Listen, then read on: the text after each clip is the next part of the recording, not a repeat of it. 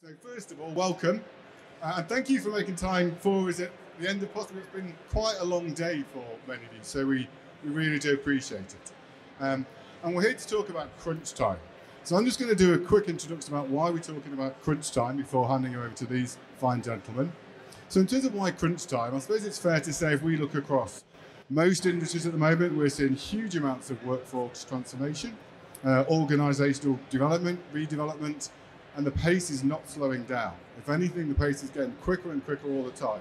So it's crunch time for learning and development to make sure that we're at the forefront of that. We're staying ahead of that so that we stay relevant and we can align our goals to the business goals.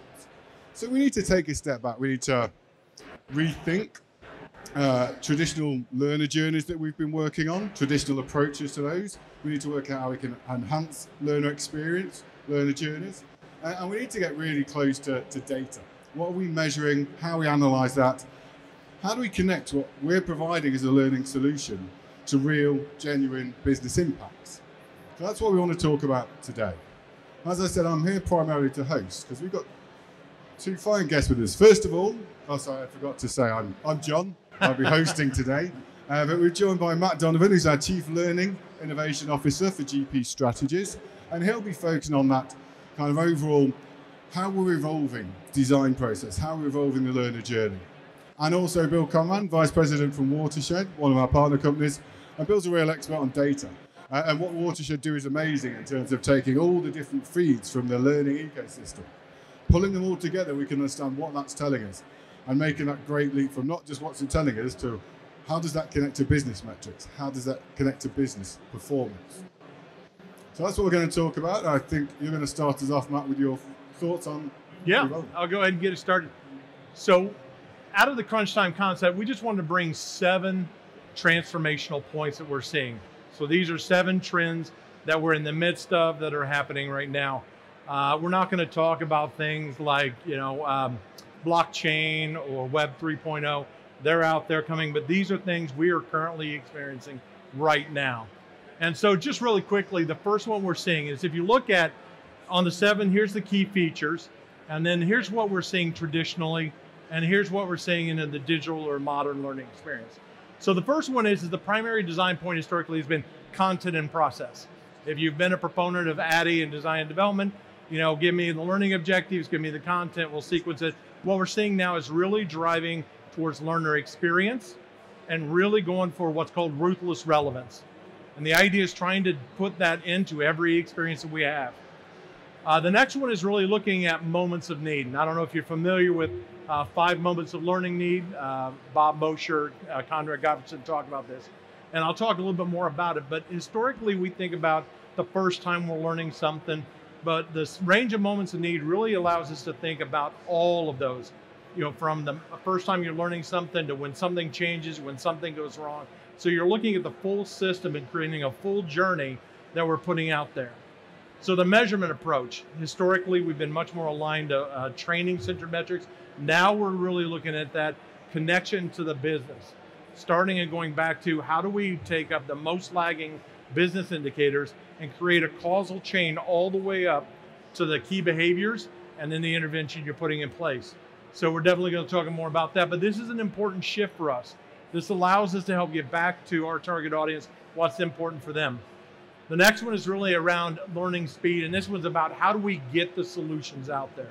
The first one is training centric speed of the process. I've got a waterfall process. It's going to take X amount of time to put it out there.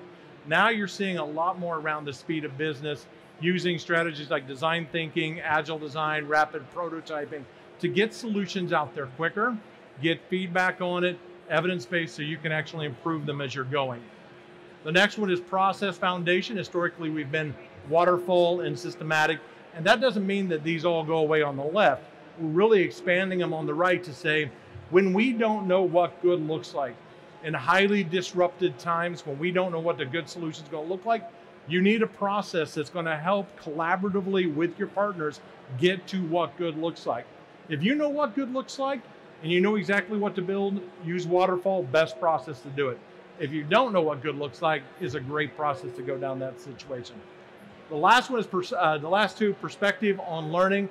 historically we've looked at as learning as discrete elements, things we codify, drop in an LMS, we just track them individually. Now we're seeing holistic integrated systems, really the systems lens at the learning, not just the tech ecosystem, but the whole overall environment around with that. And the last one is really around technology. It was very LMS centric, historically on prem. Now you're looking at blended technology stacks and all cloud based. We're going to kind of cover and hit on some of these topics. I hope you ask questions as we're going through. We may not be able to get through all of them, but if there's one we didn't cover, we'll be around to help kind of dig in and answer questions. But let's jump in and start off with design point. So what I want to show you here is an example of how you might start to think about, uh, from a journey standpoint, trying to teach emotional intelligence. So rather than run, roll out maybe a simple course on it, we start to look at an ecosystem of learning assets that allow me to come in and look at that. Now, some might say, hey, this is blended learning. It is in a way. But where I'm saying it's now blended in a digital, and why is this not working? Can you hit it for me? There we go, thank you. So now what we're saying is that the blended learning shifts out because now we're talking about flow. So how would my experience start off to allow the learner multiple entry points, multiple exit points? The target user can get what they need, get back to work, come back in and go deeper.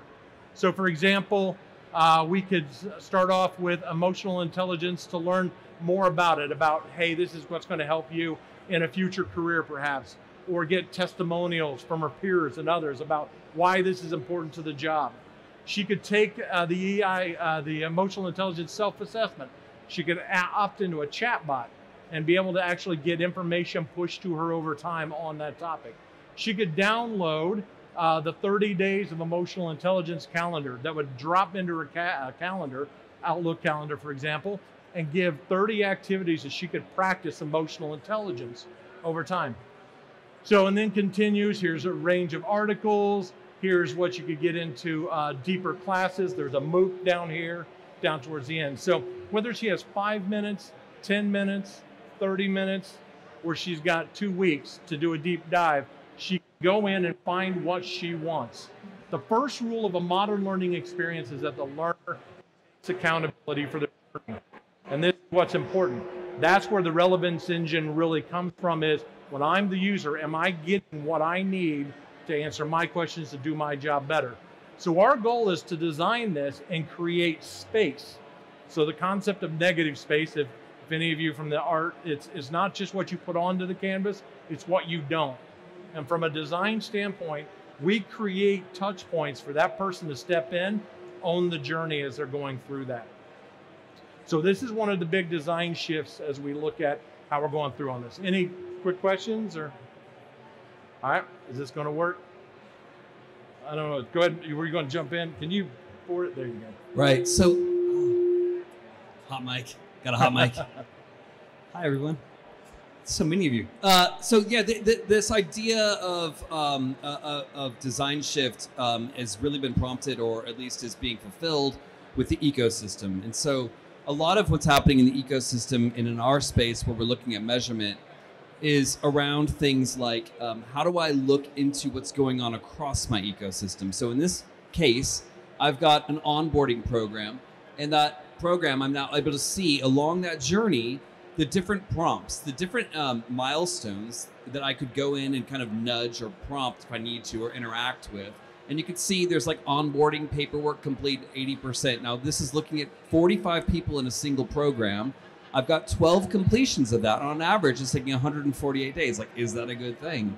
I don't know. So you have to, you, you're able to now see what's going on across your ecosystem. And this is exactly uh, in line with the journey that Matt talked about because each of those steps have different data that are coming out of them. So what we're trying to also say is let's look at that data and make database decisions to go out and interact uh, with where need be. Yeah, I mean, and going with that, it, the more sophisticated the learning journey, the more sophisticated your data collection strategy has to be. So, Bill, you want to talk a little bit about this? Right. This is uh, sorry about the beer. That was weird. Yeah, this is um, this is kind of an idea of looking at competencies and key performance indicators across the um, a, a, across the organization. So, in other words, we took these um, these scenarios on learner analytics, focusing on the learner, and the key performance indicators and competencies that are um, that, that are associated with uh, emotional intelligence. So, for instance, communication, retention, adaptability, internal motivation, and then an overall index learning score, which would be kind of a cumulative score across the uh, the, the, the assessments that have been um, that have been assigned. So in this case, um, you know, y- you have representation of of three individuals, and you're able to start seeing where I have somebody who is absolutely excelling at adaptability or the overall learning, um, and then I have two who I could potentially align with those individuals. So these do these lines in the spider graph actually represent individual people. So I can make I can change this spider graph to look at different divisions of an organization, different geographical territories, or the individual. Again, just applying some data and some analytics to my system, my program that I've already created. So, uh, so this is one that's kind of packed in here, but the reason that we put these three together is this is about bringing the human into the digital experience. So I talked about the five moments of learning need over here, and what I love about this, it's a very learner-centric model. The base premise is, is that there are five times when somebody needs to learn something, five, five conditions. When you're learning something for the first time, when you learn more, when I, the moment I'm first applying it or getting better at it, when I'm adjusting to change or something has gone wrong.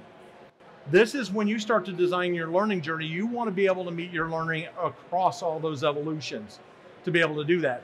What's really brilliant here is that each of these requires a slightly different approach to teach it. When you're learning for the first time, you may need a lot more scaffolding, a lot more context. But when I'm actually trying to react to something that went wrong, I don't need all that background. I need smaller pieces to be able to do that. And remember when I said that basically the learners have to come into being able to take ownership of that learning journey? That's also not externally when the first five moments, but when you want to become an innovation or growing for your next role, I need something different. That's where they start to step in and look for other things they're having. So you want to be able to design for all of these moments of learning need. Have the resources available in your ecosystem. Now, we're changing the roles. So historically, the organization would put it out there, they would consume. Now we're saying the learners are actually taking on these other roles. No longer are they just consuming learning, they're moderating, curating, contributing, creating, collaborating. And especially when you look at moments three, four, and five, this becomes your performance community. These are the ones that are going to help us get better at our jobs. The, the, when the social, the learning population is going to help feed itself. They're going to help us find solutions out here. This is where you need to really look at an ecosystem of not just teaching for the first moment, but across the entire process so they actually pull into the organization. Now, the last one is, is as we support them, what are the types of rules that we have that are enabling the human rules in the system that we want to look at? And if you're familiar, this is drawn from uh, Rob Cross's work in organizational network analysis, which really studies how does work get done in organizations. But really learning connectors. This is somebody, and I'm sure everybody has it. So remember the last time you tried to learn something, you had somebody you called. Everybody's got somebody when they need to figure somebody out, they call. That's your learning connector. That's your human to help you find what it is a trusted resource. And occasionally, you need somebody outside of your unit to help you look at across the organization or in other areas. Who can help me find something outside of where I'm at? Those are your learning bridgers. The humans that can help make connections across an organization, cross functional information. Specialists are the ones that we think about really targeted coaching, targeted mentoring, helping me get better. And then the last ones are the information brokers that are bringing information with the learning to help drive performance in the workplace. So, what you really need to look at is as you're defining and building your learning ecosystem, you want to make sure that you've actually expanded for the different roles, bring them in, find ways to them engage in the learning, but also you want to make sure you have these folks inside of an organization. These roles don't show up on an org chart. And as businesses contract as they will, sometimes you will lose these people in an organization. And when you go back to grow, they're not there. It is really hard to really grow and transform. These folks are the connective tissue in an organization. So your role is to uncover, nurture, reinforce, and grow them to be able to do it. These are the humans driving the digital space.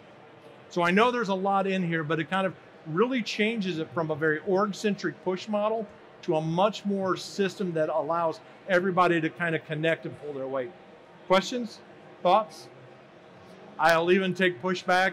You tell me I'm wrong too. I'm all right with that as well. Right. Oh, yeah. Just a quick question. About, Yeah. Do you have any best practice or ideas about how you find these people? How do I you- find these people? how people? you go and seek these people? I ask. So one of the things I'll ask somebody, I said, Bill, when's something that you wanted to learn the last time you didn't know how to do? Who did you talk to? Yeah, and I listened to the names. And I just ask. I said, but I'm asking them, when you're trying to make connections around the organizations, who do you call? This is about finding the humans in the system, simply asking. One of the most powerful tools is a human question. Oh, sorry, I just wanted to say that um, on that slide that I showed with the different competencies, it's the same idea. You have to ask the the heads of that business division, what are the key performance indicators and the competencies that we can help you drive, and then if you're able to start seeing those, I, I just find so often that L and D doesn't have visibility into that, and so you're tasked with doing something, and yet you have no idea if it's actually working, and I just find it to be a little absurd. And and that's that's the point is you want to drive evidence-based decisions not only after you've launched it but before you've done that. Bringing in data so you have high confidence it's going to work bringing that so collecting that data early is critical. You don't wait until you've launched it and then figure out does it work or not which actually brings us to the design thinking process. And so i'm sure many of you have probably heard of this but this again is a process that helps us get to what does good look like when we don't know what it looks like collaboratively. So we start off, most important is we start off with the who. Who are we building for? Do we really know them? Do we know how they feel, think? What are they going to gain out of it? Why do they even care? Before I start a course, I'm like, will they even care? Do they need to know this? Why is it going to be relevant to them? Know who you're actually working with. And this is more than a traditional learner analysis. This is going deeper into the emotional components. Then define what are we solving for them? What problem? What are we really going to address for them? And then we go into the ideation phase, which is trying to come up with great ideas on how we solve a problem for this particular audience. So this process is meant to really refine because what you're trying to get to is the most elegant solution possible. We're not about it for complexity. We're trying to be laser targeted on what's going to be most relevant for them. And then prototype and test. You want to go out and try something as quickly as possible. You're going to get data and feedback. That data is going to help you improve your solution before you launch it. And then even after, you'll still collect that data. So when we're talking about having that data collection system, you want to put it in that supports your design process as well as your post design. So this is one of the concepts we talk about an MVP. How many of you have heard of uh, minimum viable product? Can I see a show of hands? All right, good number of you. Excellent. So if you've ever been in an experience, and does this resonate with anybody? So this is what instructional designers started off with. We're going to build a car. We build a car with one wheel, two wheels. Then we do this because we know we're going to build a car, right? That's how traditional design's gone out. What this one says, we're going to start off with the question, what am I trying to do? I'm trying to move people from point A to point B. How can I do that? The minimum viable product of being, being able to move here could be a skateboard. So then we go out, I build a skateboard, we test it out. Users come back and said, it's great, I want to go faster and I want more control. We take the data, we go back, we come back with a scooter. We ask them, hey, I want to go uh, a little faster and I want to carry stuff with me. All right, so we go back, we redesign, but all you're capturing data along here. But here's the thing we come back to them and they said, actually, we're really happy with the bicycle. Here's the beautiful part we stop here. We don't build the car if they don't need the car. We only build the bicycle. Now, a year from now, they go, I really want to carry stuff inside and I'm tired of getting wet when it rains. Can you give me something with a roof? Great, we can work on that. But the, the idea here is that minimum viable product for what we do. So again, it's trying to get back to the simplest solution that we're putting out there. So the next section I really kind of want to talk about is learning technology and measurement. And I know this is really complex looking and scary. It's like this. People ask me, can you make this simpler? I said, but it would fail the point. The point is, you go back 10 years, this was a lot simpler. There was a big fat LMS, a couple other things. That's all that was over here. But today, you have so many more pieces that you have. So just real quick uh, on this one. So if you look at the left, you're looking at the utility. So what is an organizational's intent?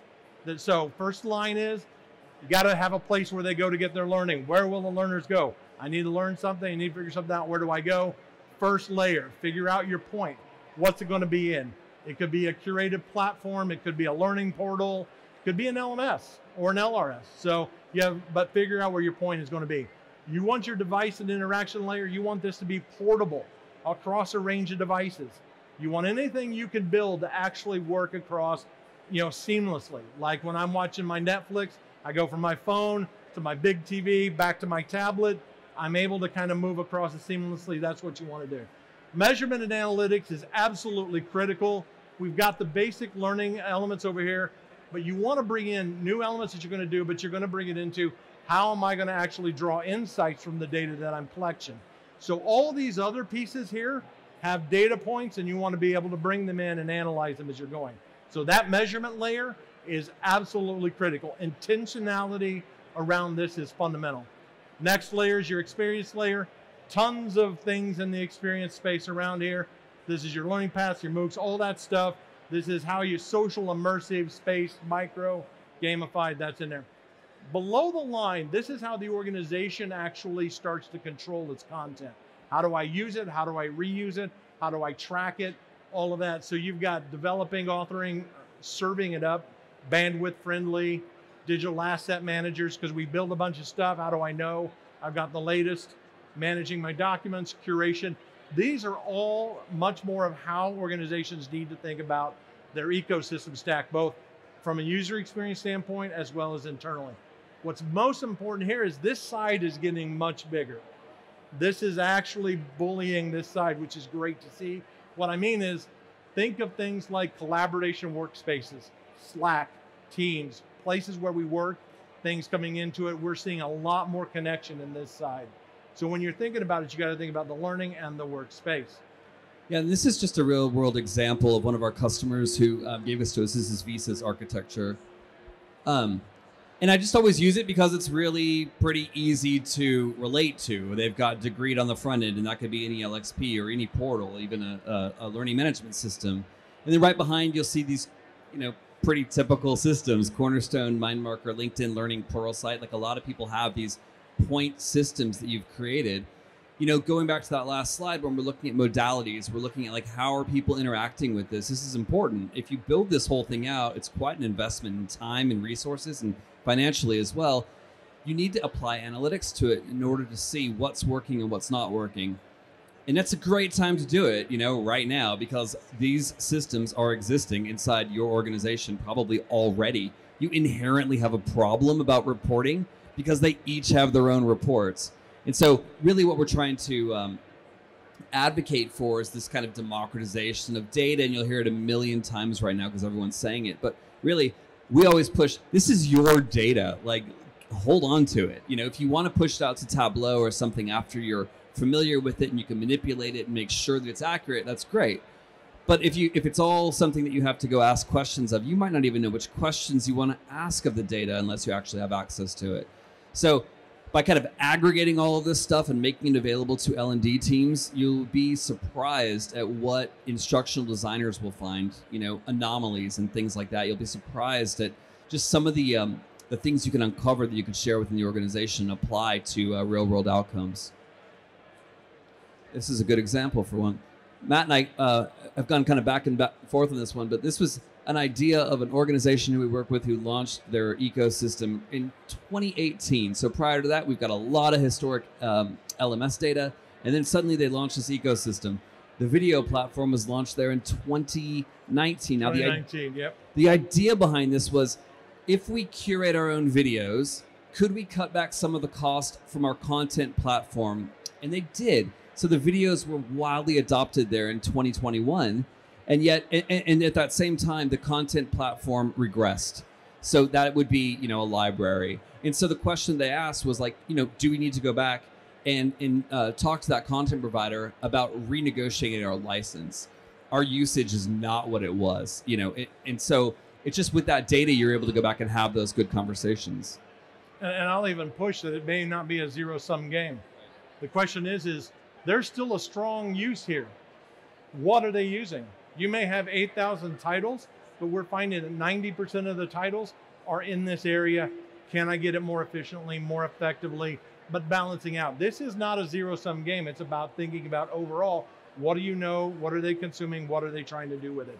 Data helps drive those insights. So the question is before you go into this, you have to have a plan. You have to have an idea of how you're actually going to measure. So what this allows us to do, and actually we start over here on the right. So the right is really looking at our strategic goals. These are the most lagging business indicators. And what this represents is a causal chain from the business indicators, the most lagging, all the way up to the beginning, which is some of the behaviors, to the actual investment that we put in place. Here's what I'm saying is that if you do this and you're pulling actual data real time, I get level three, level four within the natural system as it is. I don't need to go out and do a hundred thousand dollar survey to figure out if a three hundred thousand dollar initiative is working or not, because I'm getting the data downstream. So as you go through, you look at your business results, your leading indicators, and you go back to the initiative that you did. This is probably one of the most important conversations to have with your business partners. And I love it because it starts off with them, asking them, how do you measure your business? How do you know when you're doing well? How do you know to promote? How do you know who have corrective conversations with? How do you collect that data? And then you can map it out like this. This leads to that architecture, collecting the data, then you have the insights and the analysis that goes with it.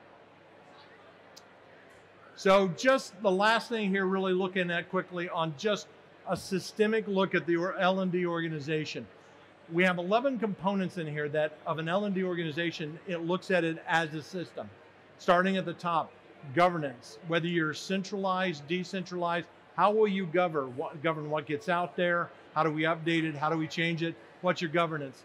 How are you structured? How are you rolling it out? How are you connecting? Are you putting learning folks in the business? Are you having contact points? Operational, how are you set up to structure your revenue streams? Business partner alignment, learning, this is where you're going to talk about your modalities and your approaches. Leadership development, what are you doing specifically for that connection? Tech and innovation go together. So, what's your tech strategy look like? But in the space of innovation, how do you get to proactive so that you know a tech's going to work before you actually decide to launch it? That's where innovation comes in talent management alignment, and that pie is getting much bigger. And then you got organizational and measurement analytics.